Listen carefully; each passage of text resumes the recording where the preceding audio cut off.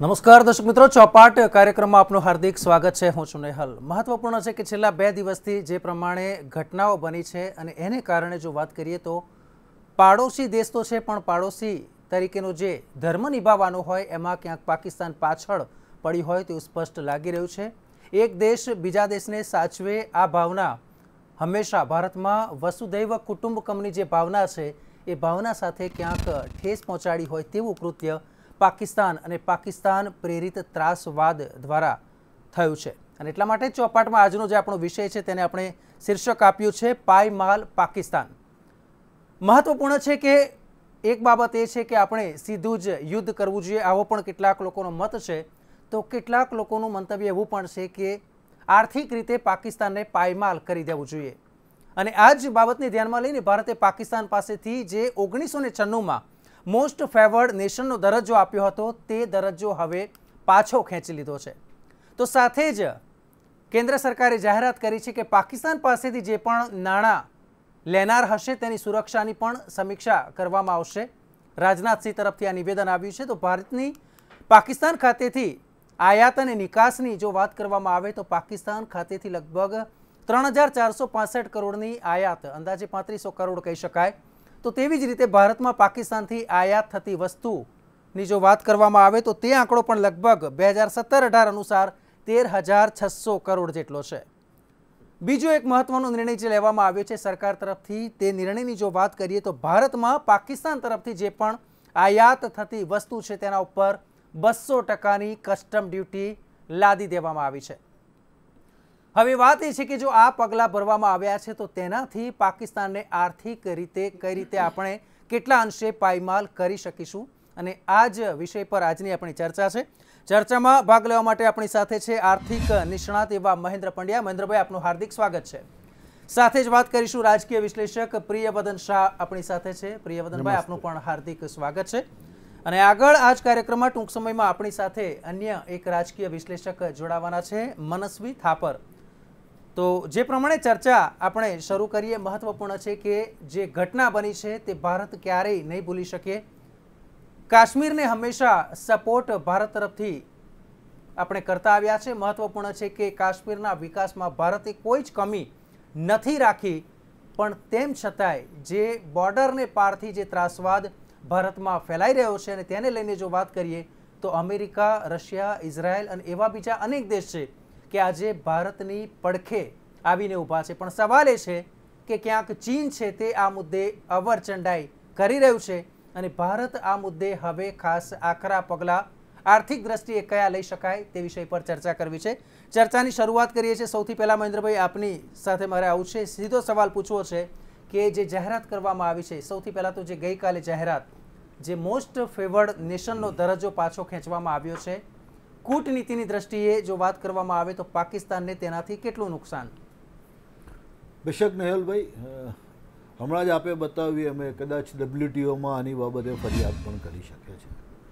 પણ જ્યારે most favoured નેશનનો દરજ્જો નાઇન્ટી સિક્સમાં આપવામાં આવ્યો હતો અને જે પરિસ્થિતિઓ ચાલતી હતી, એના પછી કદાચ છેલ્લા વીસ વર્ષથી પાકિસ્તાન તરફથી જે વ્યવહાર થઈ રહ્યો છે એમાં ફેવર્ડ નેશન તરીકેનો કોઈ વ્યવહાર થઈ રહ્યો એવું લાગતું નથી.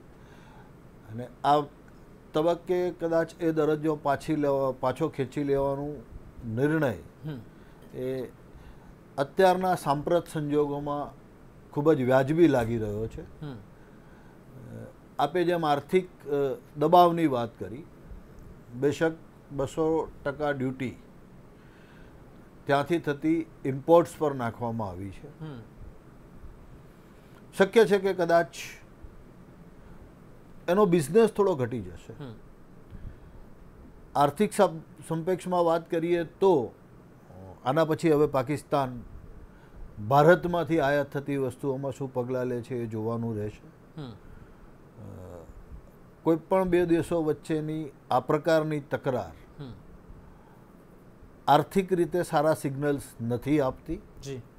હમણાં જ વાત થઈ એ પ્રમાણે કે જો માત્ર આર્થિક બાબતોને વિચાર કરવાનો હોય તો સ્વાભાવિક રીતે જ આવો કોઈ પણ નિર્ણય કોઈ પણ દેશ માટે નુકસાનકારક છે. પણ જે પરિસ્થિતિની આપણે સમીક્ષા કરી અને જે પ્રકારેનો ત્રાસવાદ ભારતની ધરતી પર કરવામાં આવે છે અને હું આપની સાથે કદાચ એક વાક્યમાં સુધારો કરવા માંગુ છું. હજી છેલ્લા બે દિવસથી મને એ નથી સમજાતું. કે નેશનલ હેરાલ્ડના ગઈકાલના ન્યૂઝપેપરની અંદર પાકિસ્તાનના ન્યૂઝપેપર એવું લખેલું છે કે આપણા શું કહેવાય એક પ્રકારની રાજકીય સ્વાયત્તા માટે અને સ્વતંત્ર માટે આપણા કેટલાક મિલ જેને આપણે ટેરરિસ્ટ કહીએ છીએ એમને એ લોકો એમના સોલ્જર્સ કહે છે. અને ચુમ્માલીસ લોકોને ઢાળી દીધા છે.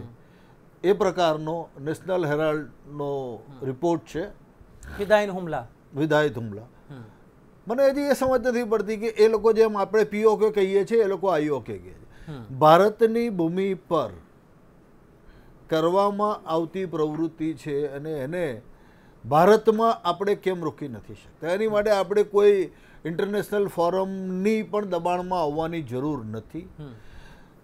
આ પર્ટિક્યુલર પુલવામા હુમલાની વાત કરીએ તો બહુ જ સ્પષ્ટ થઈ ગયું છે કે ભાઈ આતંકવાદીઓ પોતાનો આરડીએક્સ ભારતની ધરતી પર જ ભેગો કર્યો છે. જે સ્કોર્પિયો અત્યારે બતાવવામાં આવી રહી છે કે જે વાહનોનો યુઝ થયો છે, એ ભારતની ધરતી પર જ થયો છે.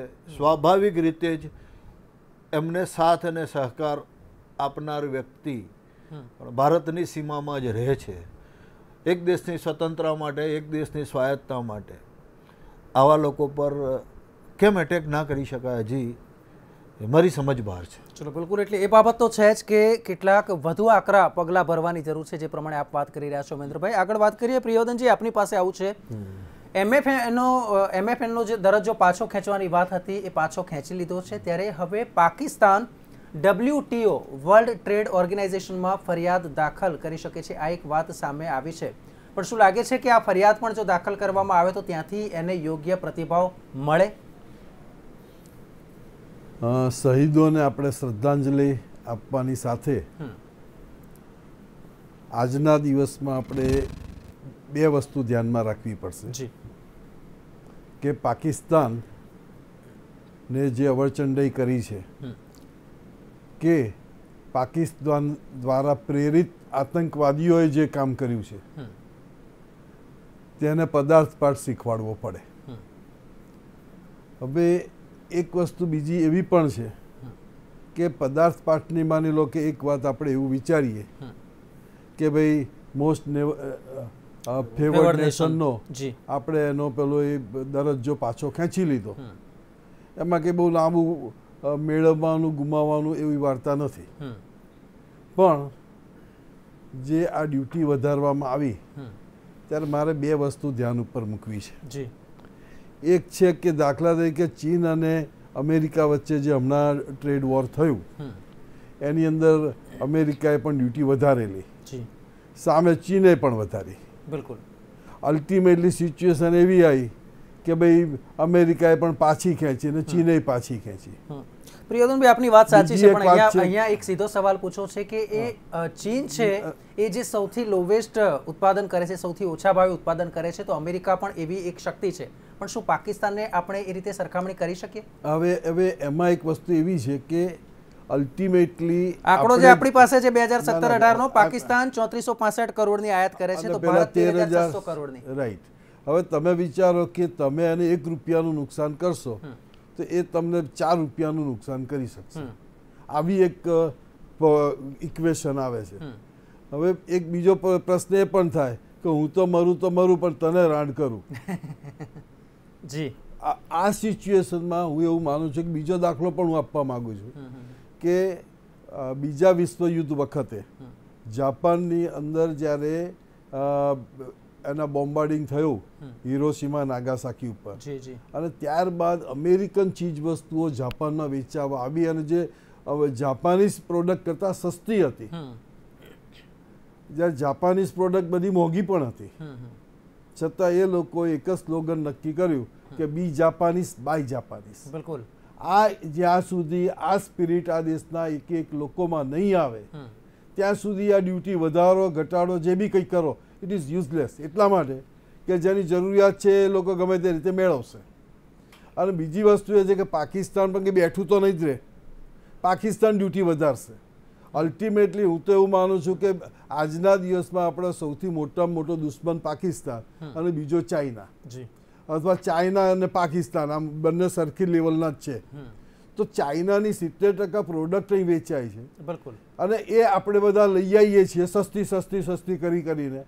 કેમ ચાઇનીઝ પ્રોડક્ટ પ્રોડક્ટનો કોઈ બહિષ્કાર નથી કરતું? અને પછી મહત્વની બાબત એ છે પ્રિયોદનભાઈ કે ચાઇનીઝ પ્રોડક્ટ છે એ તકલાદી છે આપણે જ કહીએ છીએ પરંતુ એ જ પાછી તકલાદી પ્રોડક્ટને આપણે સ્વીકારીએ છીએ. એટલે that is what I am telling you કે અલ્ટિમેટલી આપણે જ્યાં સુધી રાષ્ટ્રીય ભાવના જ્યાં સુધી દરેક વ્યક્તિમાં જાગૃત નહીં થાય ત્યારે આપણે ઓકેઝનલ જે સ્પિરિટ રાખીએ છીએ કે ભાઈ અમે દેશ પ્રેમ છે એના માટે પંદરમી ઓગસ્ટ ઉજવી નાખીએ કે છવ્વીસમી જાન્યુઆરી ઉજવી નાખીએ. એ કંઈ દેશ પ્રેમનું પ્રતિક પ્રતિક છે? ઇટ્સ ઓકે પણ એનાથી સફિશિયન્ટ વાત બનતી નથી. જે ભાવના હોવી જોઈએ તે ત્રણસો ને પાસઠ દિવસ એ ત્રણસો પાસઠ દિવસ હોવી છે જોઈએ.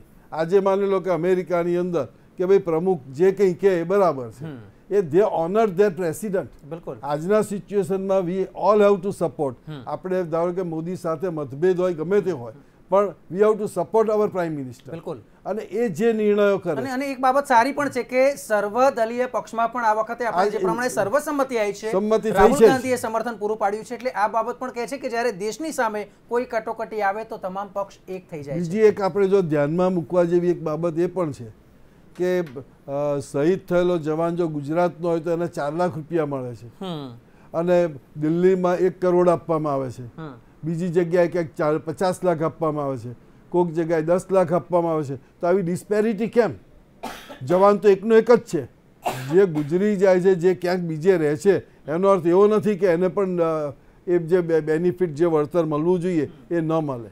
ખરેખર ગવર્મેન્ટે એ બાબતમાં પોલિસી ઘડવાની જરૂર છે કે કોઈ પણ દેશ રાજ્યનો હશે કોઈ પણ જગ્યાનો હશે એને મિનિમમ વેત આટલું વળતર એક કરોડનું જે નક્કી કર્યું છે રાજ્ય સરકાર જે આપે બાકીના પૈસા સેન્ટ્રલ ગવર્મેન્ટ આપે. આવું કંઈક સિસ્ટમ ગોઠવાવી જોઈએ.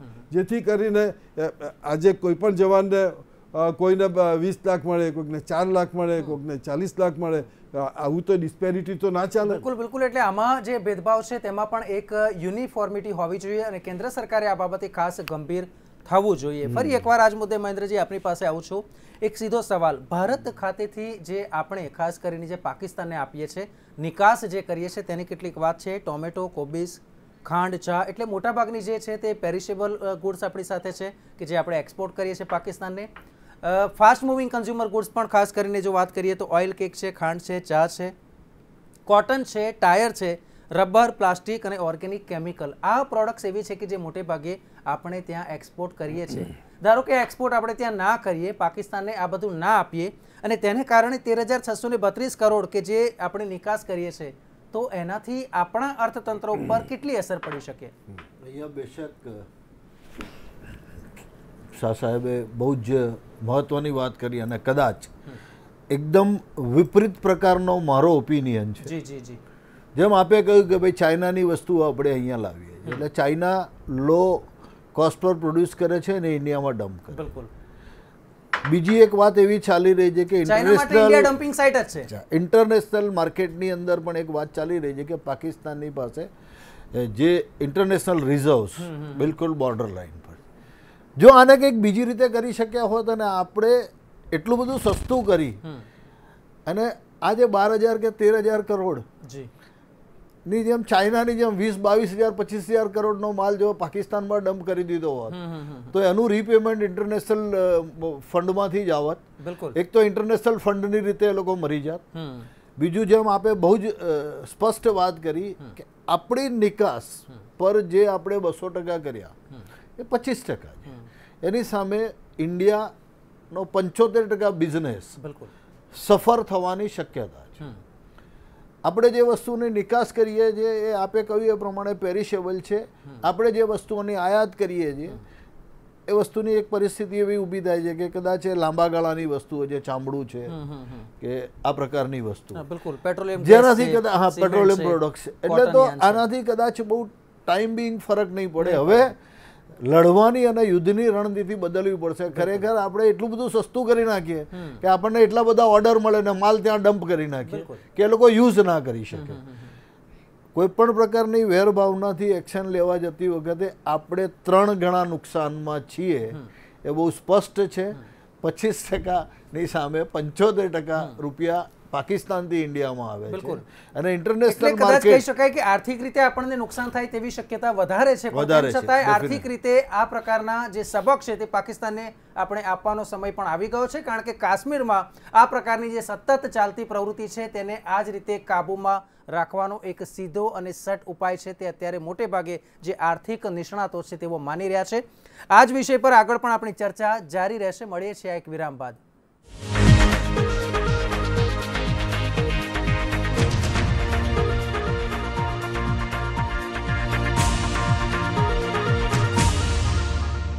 તો બ્રેક બાદ આપનું સ્વાગત છે. ચોપાટમાં આપણે ચર્ચા કરી રહ્યા છે. પાયમાલ પાકિસ્તાનની. પાકિસ્તાન નામ છે પાકિસ્તાન, પરંતુ જે કૃત્યો છે તે બિલકુલ પાક નથી. નાપાક કૃત્યો છે તે પાકિસ્તાન કરી રહ્યું છે, કારણ કે આ એ જ પાકિસ્તાન છે કે જે પંદરમી ઓગસ્ટ ઓગણીસો ને સુડતાળીસના રોજ ભારતના ભાગલા પડ્યા.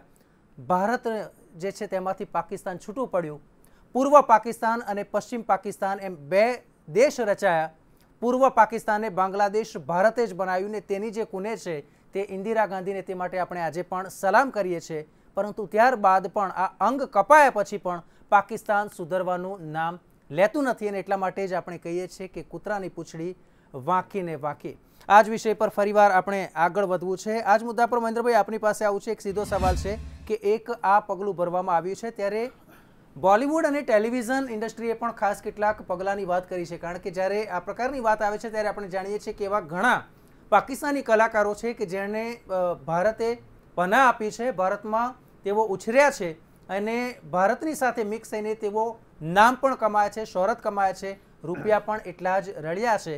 ત્યારે ટી સિરીઝે એક જાહેરાત કરી છે કે યુટ્યુબ ઉપર જે પાકિસ્તાની ગાયક છે કે જેમાં રાઇટ્સ ટી સિરીઝના છે, તે તમામમાંથી ફતેહ અલી ખાન અને આતિફ અસલમના ગીતોને હટાવવામાં આવ્યા છે. એક આ નિર્ણય. બીજો એક નિર્ણય આપણે જાણીએ છીએ કે સિદ્ધુ પર જે આક્રોશ હતો અને તેને લઈને જે કોમેડી કપિલનો જે પ્રોગ્રામ હતો તેમાંથી પણ સિદ્ધુની બાદબાકી થઈ છે. આ એક બીજા સમાચાર અને ત્રીજા સમાચારની જો વાત કરવામાં આવે તો Indian film and television directors એસોસિએશને નિર્ણય લીધો છે કે પાકિસ્તાની કલાકારો સાથે કામ નહીં કરવામાં આવે. તો આ જે બાબત છે એ પણ ક્યાંક સીધી કે આડકતરી રીતે આર્થિક મુદ્દા સાથે જોડાયેલી છે. આપ આ બાબતને કઈ રીતે જુઓ છો મહેન્દ્રજી? બેશક આપની વાત સાચી છે. પણ ભૂતકાળના અનુભવો આને માત્ર ને માત્ર સ્મશાન વૈરાગ્ય જેવું જ કહે છે. એક અત્યારનો જે જુવાળ છે ને આ પરિસ્થિતિની અંદર ઘણા બધા નિર્ણયો લેવાઈ જાય છે. પછી જેમ ક્રિકેટ મેચ હોય કે ફિલ્મ ઇન્ડસ્ટ્રીઝનું પાર્ટિસિપેશન હોય સમયાંતરે એની પર દલીલો થવા માંડે છે. આજ સિદ્ધુને બીજી વખત આ પ્રોગ્રામમાંથી કાઢી મૂકવામાં આવેલા છે. એનો મતલબ જ એવો છે કે આ કેટલું લાંબુ ચાલશે. અને આ પગલાં કેટલા અસરકારક છે એ વ્યક્તિગત છે. કદાચ આ બે પાંચ દસ પંદર સેલિબ્રિટીઝને એની અસર કરશે. નેશનલ લેવલે જે બીના છે એ બીનાને આ પગલાઓ સાથે જોડી અને વધારે પડતું મહત્ત્વ આપવાની જરૂર નથી રહેતી. જે વધારે પડતી મહત્ત્વની વાતો છે આર્થિક રીતે તો બેશક જ્યારે કોઈ પણ બે રાષ્ટ્રો ઝઘડતા હોય અથવા તો કોઈ પણ બે રાષ્ટ્રો એકબીજાની સામે પગલાં લે તો નાને મોટે અંશે ગુમાવવાનું આવે છે. અત્યારે વાત આર્થિક નફા નુકસાનની નથી. સ્વાભાવિક રીતે જ્યારે દેશના સાર્વભૌમત્વ ઉપર અથવા તો દેશના સંરક્ષણ પર પ્રહાર કરવામાં આવે ત્યારે નફો નુકસાનનું એક બેલેન્સ કેલ્ક્યુલેશન થતું હોય છે પણ કેટલાક નિર્ણયો જાણી જોઈને નુકસાનકારક કદાચ લોકોની ભાવનાઓ સાથે સરકારે રહેવું એ આપણે વધારે કેટલાક- કેટલાક. નિર્ણયો નુકસાનકારક- થોડું નુકસાન જતું થાય તો ભલે જતું થાય પરંતુ પાકિસ્તાનને સબક શીખવાડવો છે. એ મુદ્દો આવીને ઊભો રહ્યો છે. ફરી પાકિસ્તાનને સબક શીખવાડવાની જરૂર છે પણ સાથે સાથે દરેક ઇન્ટરનેશનલ પોલિટિશિયન્સ અને દરેક દેશો દરેક સમયે પોતપોતાના કેલ્ક્યુલેશન પ્રમાણેના નિર્ણયો લે છે. ક્યારેક રશિયા પાકિસ્તાન સાથે હોય છે ક્યારેક ચાઇના હોય છે ક્યારેક અમેરિકા હોય છે. મહત્વની વસ્તુ એ છે કે આપણે આપણા પગભર રહી અને શું કરી શકીએ છીએ. બિલકુલ. એના આધાર પર આગળના નિર્ણયો લેવાવા જોઈએ. એવું મારું સ્પષ્ટ માનવું છે. ચલો બિલકુલ. એટલે આ બાબત ઉપર પણ ખાસ સરકારે ગૌર કરવું પડશે. પ્રિયવર્ધનજી એક બાબત મારે એ જાણવી છે કે જે આપણે જાણીએ છીએ કે ચીન છે તે હંમેશા પાકિસ્તાનને પોતાના લાડલા દીકરાની જેમ સાચવતું આપણે જોયું છે. ત્યારે આવા કોઈ મુદ્દા હોય, ત્યારે પણ ત્યાંના જે આતંકવાદી સંગઠનો છે તે મુદ્દે ચીન પોતાનો અભિપ્રાય છે તે બદલતું નથી. એક આ બાબત છે. તો બીજી બાબત એ છે કે સાઉદી અરબના જે પ્રિન્સ છે, સલમાન, કે જેઓ પાકિસ્તાનનો પ્રવાસ છે તે પણ એક દિવસ પાછો ઠેલવ્યો છે ને એમણે ખાસ કરીને આ બાબતે ભારત પ્રત્યે સંવેદનાની લાગણી પણ પ્રગટ કરી છે. તો આ ઘટનાને આપ કઈ રીતે જુઓ છો? આમાં ચીન પાકિસ્તાનનું મિત્ર છે. દુશ્મનનો દુશ્મન એટલે મિત્ર. બિલકુલ. એવી એ સિસ્ટમ પ્રમાણે મિત્ર હોય એટલે પછી જે હોય તેઓ સ્વીકારવો પડે. એટલે એ પ્રમાણે ચીને પાકિસ્તાનને મિત્ર તરીકે સ્વીકાર્યો છે. એને બધી મદદ કરે છે. આપણે એ જોવાનું રહે કે જો કોઈ ફ્રન્ટ ખુલે જી. તો આપણે બે બાજુ ફ્રન્ટ ઊભા થાય છે. બિલકુલ. એટલે એ એક અગત્યનો મુદ્દો થાય છે. બીજી વસ્તુ એ છે કે માની લો કે કાલે ઉઠીને કોઈ વોર પણ એસ્ટાબ્લિશ થાય. તો જેટલા પરમાણુ બોમ્બ ચીન પાસે અરે પાકિસ્તાન પાસે છે એટલા આપણે આપણે લગભગ આપણા કરતાં થોડાક જ ઓછા છે એની પાસે. જે છાપાના જે ન્યૂઝ વાંચીએ છીએ એ પ્રમાણે. તો બેઝિકલી આખી વાત એ આવે કે જો કોઈ વોર થાય તો પાકિસ્તાન કરતાં નુકસાન તો આપણને જ વધારે થાય તેવું છે. કારણ કે આપણે સમૃદ્ધિ આપણે ત્યાં છે એને ત્યાં સમૃદ્ધિ એટલી બધી નથી. હવે આ પરિસ્થિતિની અંદર જે નવજોતસિંહ સિદ્ધુએ એવું કહ્યું કે ભાઈ આ આતંકવાદીઓના આ જે આતંક જે છે એને તેમણે વખોડ્યો. બિલકુલ. અને એને યોગ્ય સજા થવી જોઈએ એવું પણ કહ્યું. પણ એ સાથે એમણે એવું કહ્યું કે ભાઈ પાકિસ્તાન જોડે ચર્ચા કરીને આનો કાયમી ઉકેલ લાવવો જોઈએ. હવે આપણા દેશમાં હવે એક વસ્તુ એવી થઈ ગઈ છે કે ચર્ચા કરવાની કંઈ પણ વાત આવે એટલે બધા ઉશ્કેરાઈ જાય છે. અને નોટ ઓન્લી દેટ પછી તાત્કાલિક બધા અને ભાઈ લોકશાહી છે એણે એનો પોતાનો મત જાહેર કર્યો છે. અને એનાથી એને કોઈ પણ સિરિયલમાંથી કેવી રીતે દૂર કરવો મને એમ લાગે લોકશાહીની દ્રષ્ટિએ પણ બરાબર નથી. ખરેખર લોકોએ જ એને પણ શાંતિથી સાંભળવો જોઈએ. એને એનો મત પ્રગટ કરવાનો અધિકાર છે. માનવો ન માનવો એ તો કે એ- મનાવવાનો છે એવું તો છે પ્રોડ્યુસરે નક્કી કર્યું હશે ને? લોકોએ ક્યાં કહ્યું છે કે એને હટાવો કે ના હટાવો? ના બધેથી ટ્વિટર ઉપર બધી જગ્યાએ એના પહેલા એ થવા માંડ્યા ડિમાન્ડો. અને પ્રોડ્યુસરે એ માની પણ લીધું. પણ કહેવાનો મુદ્દો એ છે કે જે આ દરેક જણને પોતાનો મત રજૂ કરવાનો અધિકાર છે. પણ એનો અર્થ એવો નહીં હું ધારો કે અહીંયાથી કોઈ મત રજૂ કરું છું તો એ મારો પર્સનલ છે. હું કંઈ એવું નથી કહેતો કે મોદી સાહેબ આમ જ કરો. અથવા હું કહું એમ જ મોદી સાહેબ કરવાના છે એવું નથી. તો એ સિચ્યુએશનમાં એને એવી રીતે ન લેવું જોઈએ. જી. એક જી જી સર. બિલકુલ. તો જે પ્રમાણે અહીંયા મહત્વની બાબત એ છે કે દરેકને જે વાણી સ્વતંત્રતા છે પરંતુ જ્યારે આ મુદ્દો એવો છે કે અત્યારે તમામ લોકોનો જે આક્રોશ છે અને તે આક્રોશને કારણે આ પ્રકારના, જ્યારે આપણે જાણીએ છીએ કે ભૂકંપ આવે ને ત્યાર પછી જે આફ્ટર શોક્સ આવતા હોય છે, તો આ પણ એક ભૂકંપના આફ્ટર શોક્સ જેવી ઘટના તરીકે આપણે લઈ શકીએ. સવા જે સમયની આપણી પાસે મર્યાદા છે, ખૂબ જ ટૂંકમાં મહેન્દ્રભાઈ, આપણી આપણી પાસેથી જાણવું છે કે એક નિર્ણય આપણે એ પણ લીધો છે કે પાંચ ભાગલાવાદી નેતાઓની સરકારી સુરક્ષા પાછી ખેંચવામાં આવી છે.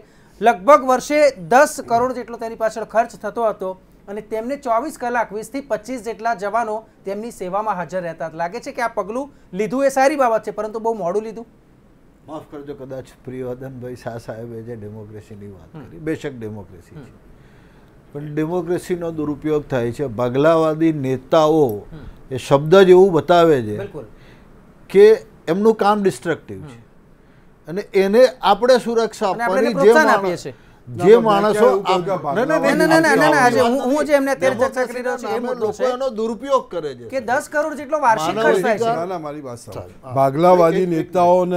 સુરક્ષા પાછી ખેંચી તો સારામાં સારું જ કામ છે. હું આગળ જઉં હું આગળ જઉં કે સાહેબ આપવી જ ના જોઈએ.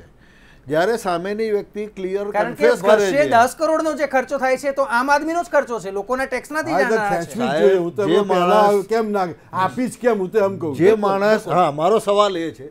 પાછી ખેંચી એ તો સારું જ પગલું છે. આવનાર દિવસોમાં જે દેશમાં રહી અને દેશની વિરુદ્ધની પ્રવૃત્તિ કરનારા વ્યક્તિને ભલે હ્યુમન રાઇટ કમિશનના નામે હોય ભલે સોકોલ ડેમોક્રેસીના નામે હોય આવા લોકો માટે ખૂબ જ કડક નિર્ણય લેવાવા જોઈએ.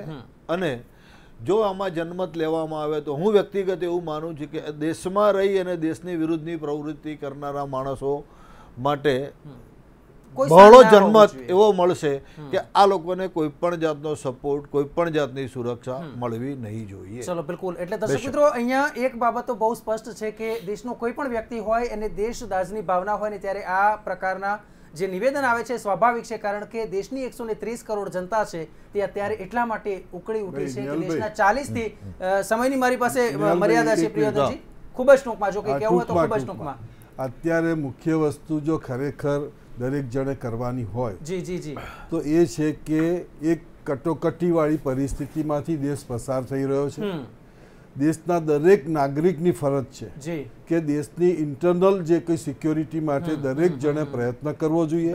આવા ચાઇનીઝ અને પાકિસ્તાની પ્રોડક્ટનો એમણે જ બહિષ્કાર કરવો જોઈએ. જેથી પેલા મોકલતા ઓટોમેટિક બંધ થઈ જાય. તો એ એ કરવાની જરૂર છે ને રોજે આ દેશની ભાવના પોતાનામાં જાગૃત કરીને દેશ પ્રેમ એ રીતે વ્યક્ત કરે. ચલો બિલકુલ. એટલે દર્શક મિત્રો મહત્વની બાબત એ છે કે દેશ દાજની આ જે ભાવના છે વર્ષના તમામ દિવસ જો હોય તો પછી ચીન હોય કે પાકિસ્તાન આ તમામને આપણે સબક શીખવાડી શકીએ તેમ છે.